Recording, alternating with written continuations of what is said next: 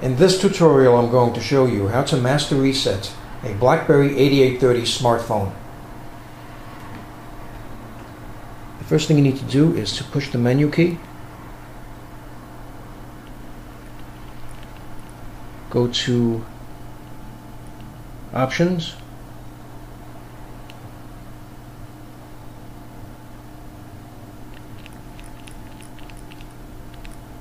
Security options. General settings.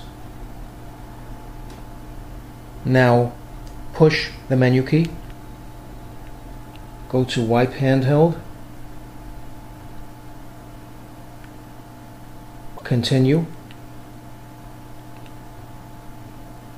Type BlackBerry.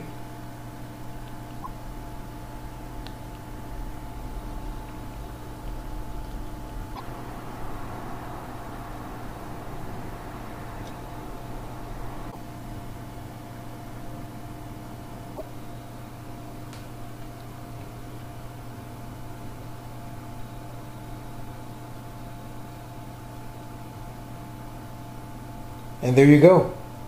The master reset is now complete. So I hope you found this video useful. If you have, please show your support for this channel by subscribing. Feel free to leave comments. Please like up the video. And thank you for tuning in.